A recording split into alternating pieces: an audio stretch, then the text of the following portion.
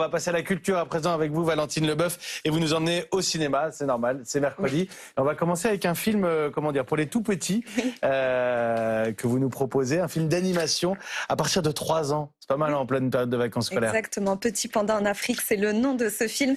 Et c'est un film vraiment très mignon puisque tous les personnages principaux sont des bébés animaux. Le héros Pang est un bébé panda, sa meilleure amie Jilong est un bébé dragon et ils vivent tous les deux tranquillement en Chine jusqu'au jour où Jilong va se faire enlever pour être offerte en cadeau à un jeune lion en Afrique.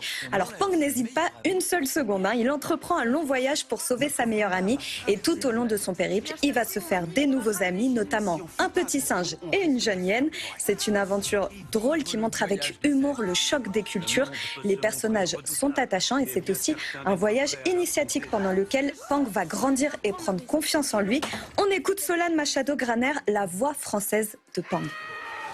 C'est très différent du cinéma. Moi, j'étais habituée au cinéma, en fait. Et c'est pas du tout les mêmes codes. Dans le sens où au cinéma, faut jouer euh, naturellement. Et au, doublage, vu qu'on ne voit pas les expressions corporelles, il faut beaucoup surjouer pour passer l'émotion. Et donc, euh, bah, j'ai beaucoup appris. Le but, c'est euh, aussi qu'il y ait une certaine pédagogie à travers ce film. Oui, parce qu'au-delà du côté léger et familial, le film veut transmettre un message plus profond sur la diversité et l'amitié, sur la tolérance aussi, puisque les personnages viennent d'univers différents, mais ils apprennent à communiquer, à s'accepter et à se respecter. Et même si ces personnages ne sont pas humains, tout est fait pour que les plus jeunes puissent s'identifier et comprendre ces messages à travers des dialogues courts et simples. Alors, est-ce que ces messages seront compris? Je ne sais pas encore, mais en tout cas, ce qui est sûr, c'est que les enfants qui ont assisté à la projection il y a quelques jours à Paris ont adoré le film. On les écoute. C'était bien, ça m'a fait rire. J'aimais bien la musique et le dessin. C'était beau, j'aimais bien les couleurs. Ils sont mignons. Oui, il y a plein contre, maintenant, ils vont sortir de la salle de cinéma Oui. parce qu'on va passer à un film pour les plus grands, tout autre style, vraiment pas pour les enfants. Thriller américain signé M. Night Shyamalan. J'étais sûr que j'allais glisser. Euh, ça sort aujourd'hui en salle et ça s'appelle Trap, comme Oui. piège. Un concert, 30 000 spectateurs, 300 policiers et un tueur. Est-ce que vous avez deviné le synopsis? J'ai une vague idée.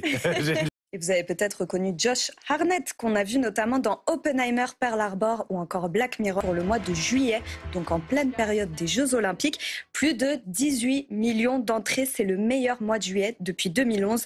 De très bons chiffres qu'on explique par la sortie de films à succès comme Le Comte de Monte Cristo, Un petit truc en plus, Vice Versa 2 ou encore Moi moche et méchant 4.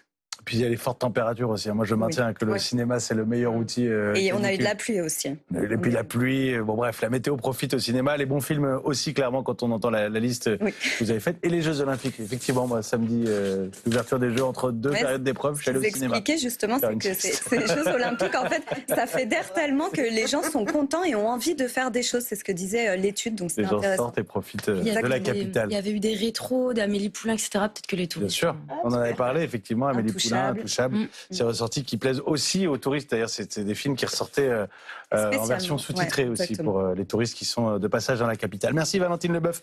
C'était les, les sorties ciné. On est mercredi.